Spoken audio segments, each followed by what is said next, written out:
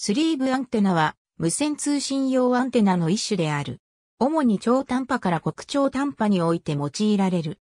400MHz 帯業務無線用スリーブアンテナ構造は上向きにした同軸ケーブルの先端を給電点としてそこから上型に向けて1、4波長の内部導線を露出させ、下方に向けて1、4波長の同軸円環を外部導体の外側に被せたものである。同軸円環の上端は外部導体に接続する。垂直に設置した状態で用いられ、水平面内には無指向性を有する。動作の特性はダイポールアンテナに類似している。また、ブラウンアンテナのラジアルを同軸円環に置き換えたアンテナであり、それと同じような用途に用いられる。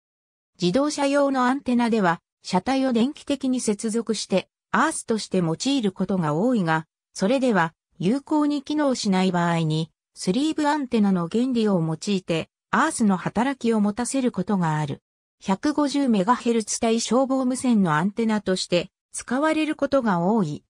スリーブの内径と同軸ケーブル外部導体の外径の差が小さいと、スリーブから同軸ケーブル外部導体への漏洩電流が著しく大きくなり、共振しなくなる。その場合は、チョークとしてスリーブをもう一段設ける。このようなスリーブアンテナは自動車電話用トランクリッドアンテナとして使われている。スリーブ部分を単に一本の棒状導体に置き換えたものを H 型アンテナという。外観がアルファベット小文字の H に見えることから H 型アンテナと呼ばれる。これも 150MHz 帯消防無線のアンテナとして使われることが多い。